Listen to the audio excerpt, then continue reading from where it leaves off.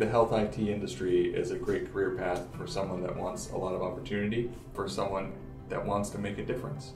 It's a great time to be in health IT because more people are understanding the power of data and they're willing to, to make decisions based on the information contained in those data. If you are new and you're coming in, you've got to be curious and you've got to ask why all the time.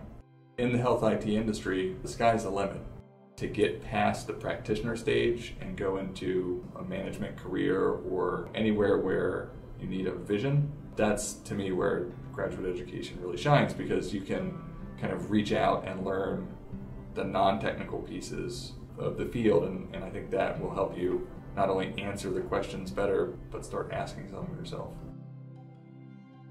So it's not just about the numbers. You can have these massive data sets laid out in front of you and the realization that these are people, these are these are points in a person's life that are very profound.